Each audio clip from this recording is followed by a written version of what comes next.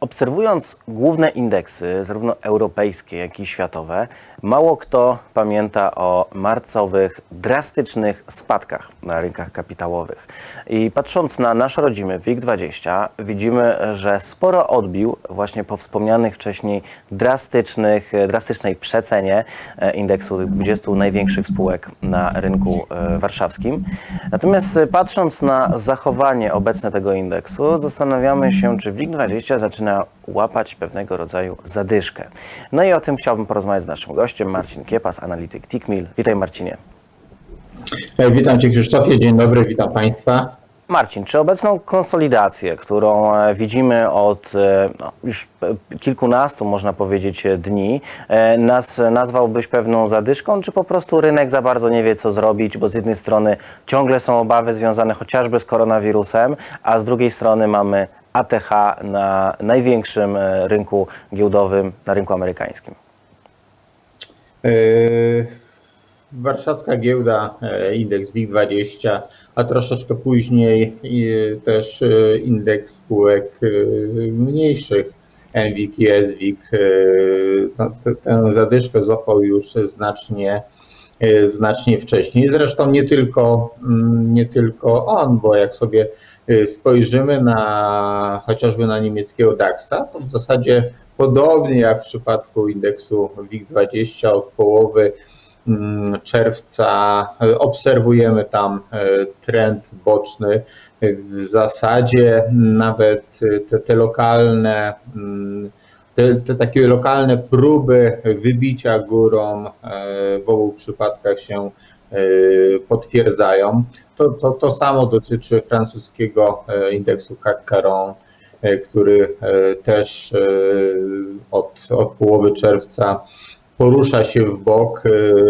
Francuzi mają, czy inwestorzy we Francji mają jeszcze troszeczkę gorzej, bo mm, tam nie udało się wybić nawet powyżej tych maksimów z pierwszej połowy czerwca, więc widzimy, że to, ta, ta, ta konsolidacja, stabilizacja na indeksie e, WIG20, która się odbywa no, wokół poziomu 1800 e, punktów, owszem w sierpniu, bowiem on jest e, częściej, w zasadzie cały sierpień jest powyżej 1800 punktów, ale od, od tej wspomnianej połowy czerwca również miał epizody, kiedy był poniżej poniżej tej bariery, więc ta konsolidacja to nie jest tylko y, to nie jest, nie jest związana tylko z samym indeksem y, warszawskich blue chipów, nie jest związana y, z sytuacją na, na, na poszczególnych polskich spółkach, ale jest, to jest taki obraz sytuacji, którą obserwujemy również na innych europejskich parkietach.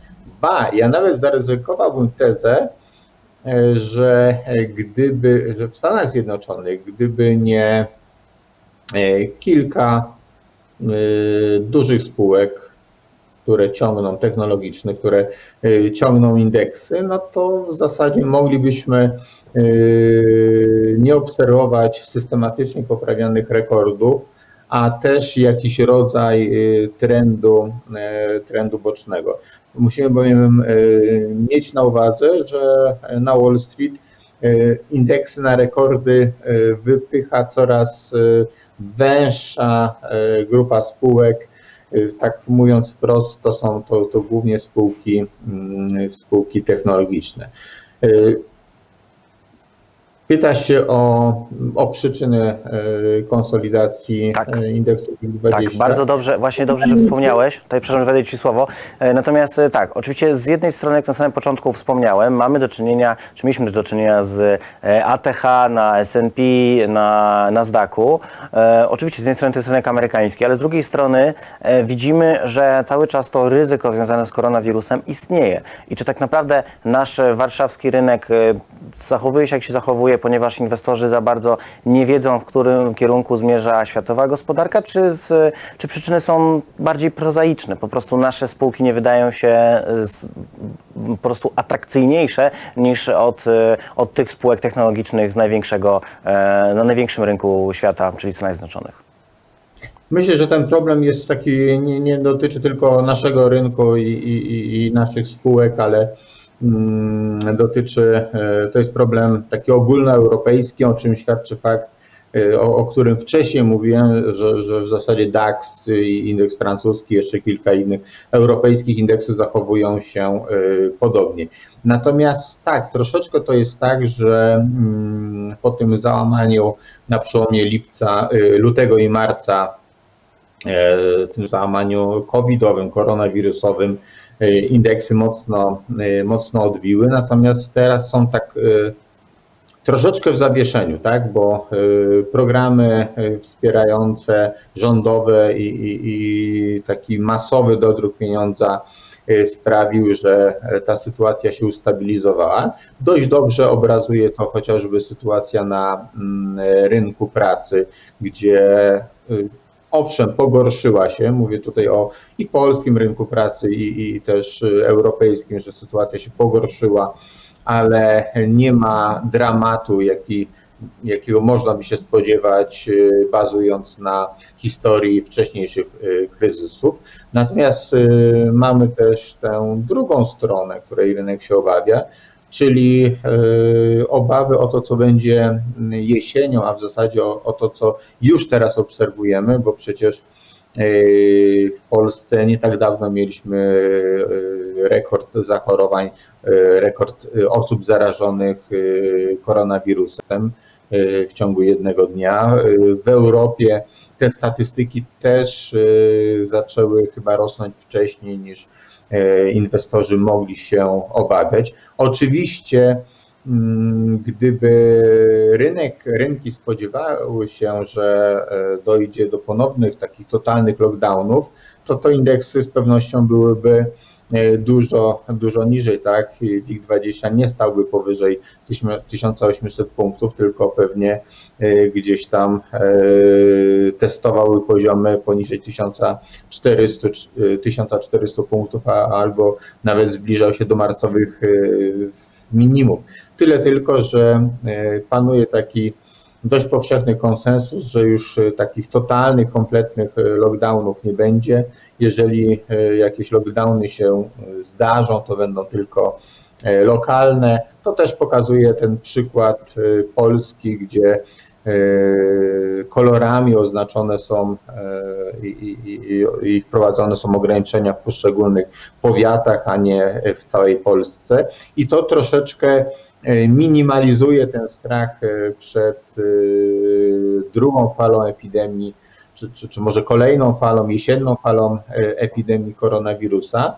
Natomiast z tyłu głowy musimy mieć ciągle, że ta jesień będzie groźna i, i tutaj nie uda się przed jesienią wprowadzić ani jakichś znaczących leków, ani tym bardziej e, szczepionki, bo szczepionka e, to, to, to raczej to jest pieśń e, przyszłości. A na jesieni sezon grypowy nałoży się na, na koronawirusa, więc może być tak, że każde zachorowanie na grypę, czy, czy każde przeziębienie i plus gorączka będzie identyfikowane jako identyfikowane jako w, pier w pierwszym etapie identyfikowane jako zarażenie koronawirusem co w przypadku e, wielu firm może oznaczać sporą absencję pracowników, e, sporą absencję pracowników i, i, i siłą rzeczy odbić się na, mm, na, na wynikach tych firm. Więc te, to zagrożenie koronawirusem wciąż istnieje i, i między innymi e, chyba dlatego indeksy takie indeksy są w zawieszeniu, tak, że, że obserwujemy trend boczny, nie, nie, bardzo, nie bardzo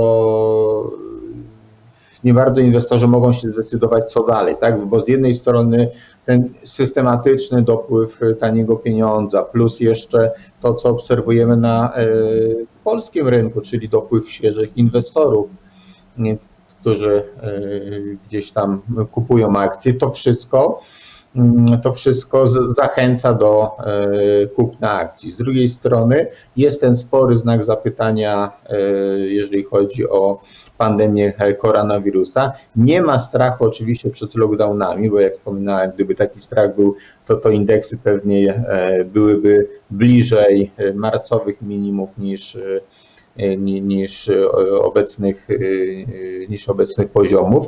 Natomiast taki spory znak zapytania jest. I tak naprawdę to pytanie o co dalej na gruncie czynników fundamentalnych mm, nie znajduje takiej prostej, prostej odpowiedzi. Tak?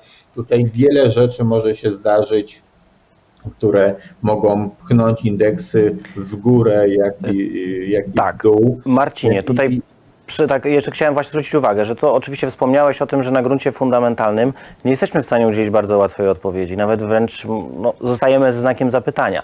Natomiast patrząc na komponenty w indeksie WIG20, czy widzisz jakieś spółki, e, na których e, w najbliższym czasie może się więcej dziać, co automatycznie przełożyłoby się na zachowanie całego e, indeksu blue chipów?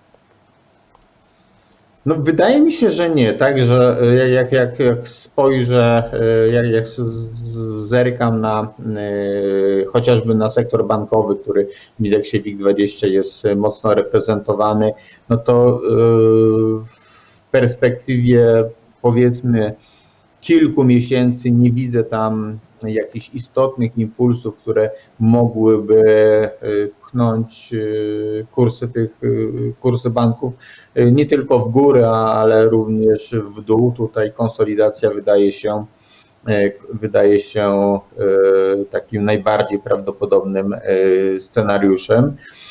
Jak zerkam sobie na notowania PKN-u, który dość mocno przecież w indeksie waży, no to też to też na horyzoncie nie dostrzegam czynników, które, mm, które mogłyby go mm, mocniej, e, mocniej rozruszać.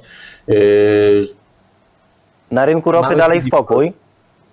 Słucham? Na rynku ropy dalej spokój. Tak, dodatkowo, dodatkowo z PKN-em te, te, te mocne ważne i, i, i takie głośne akwizycje e, też wprowadzają e, pewien znak zapytania i, i mogą powstrzymywać inwestorów przed e, jakimiś większymi ruchami na, na, e, na, na, na akcjach. E, Mamy CD Projekt i, i tutaj teoretycznie sprawa jest taka dość prosta, bo Kurs ustabilizował się w tej chwili blisko mm, poziomu 410 zł, natomiast na horyzoncie oczywiście mamy yy, premierę mm, Cyberpunka i, i, i chyba już ona nie zostanie, yy, nie zostanie przesunięta. Yy, Tyle tylko, że gdybyś mnie się spytał, czy, czy, czy ta premiera będzie impulsem do ruchu i, i do jakiego ruchu, no to chyba nie, powiedz, nie, nie potrafiłbym odpowiedzieć. Wydaje mi się, że tutaj już sporo takich pozytywnych, mocno pozytywnych y, rzeczy, y, jeżeli chodzi o CD Projekt, jest w cenach. Ja wcale y, nie wykluczam, że jeszcze do premiery kurs akcji będzie pozostawał na tym wysokim po- poziomie, blisko gdzieś e, historycznych rekordów, czyli poziomu 435 zł. Natomiast już sama premiera e, będzie takim sprzedawaniem faktów, czyli jeszcze do premiery e, kupowane są plotki, rynki będą żyły mm, nadziejami, natomiast później nastąpi realizacja zysków. Oczywiście ta realizacja zysków nie będzie y, jakaś silna i, i poziomy 350-360 zł mm, to, to jest maks, do, do, do których kurs może spaść, bo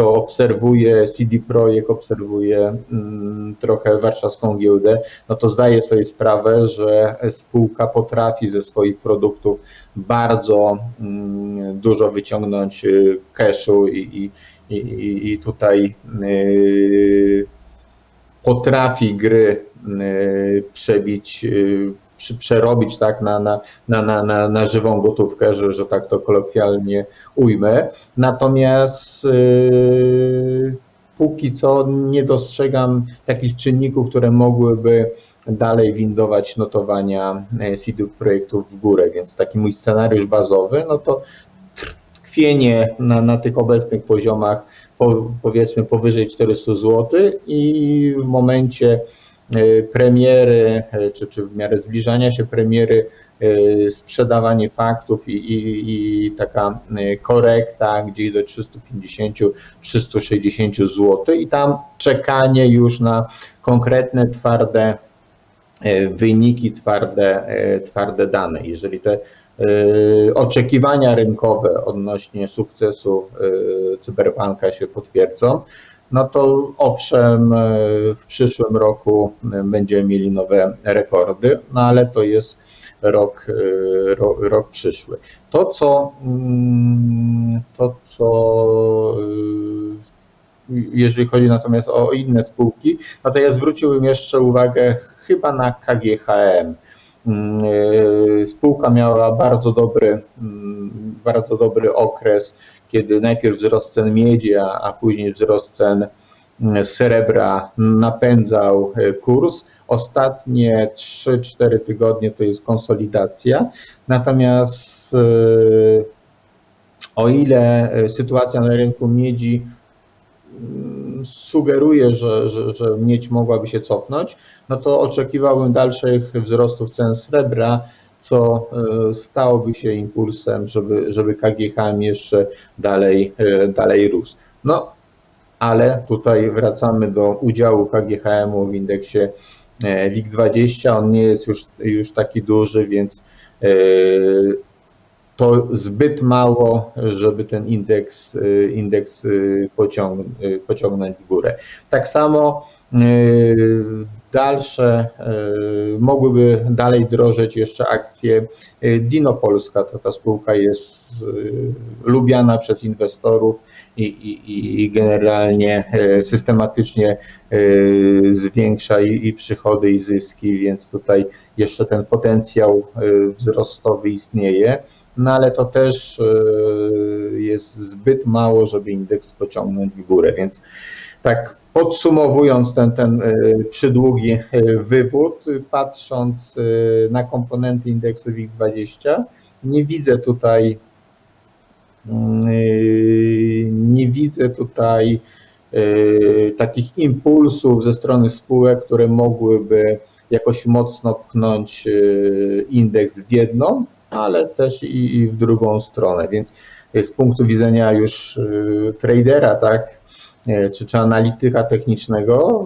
radziłbym wszystkim chyba skupić się tylko na takiej prostej analizie technicznej, obserwować konsolidację na, na, na, na, na tym indeksie i reagować na, na chwilę obiec, obecną, e, reagować na wahania w ramach tej, tej konsolidacji, ale gdzieś już przygotowywać się na, na wybicie, bo Mm, chyba wszyscy sobie zdajemy sprawę, że po y, dwóch i pół miesiąca, prawie trzech miesiącach, y, no po dwóch i pół miesiąca konsolidacji szanse na, na, na wybicie z każdym tygodniem, z każdym tygodniem rosną. I gdybym miał to ocenić, kierunek tego wybicia miałbym ocenić na podstawie analizy technicznej, to widząc co prawda wakacyjny, ale jednak spadek obrotów, raczej y, spodziewałbym się mm, wybicia dołem i, i, i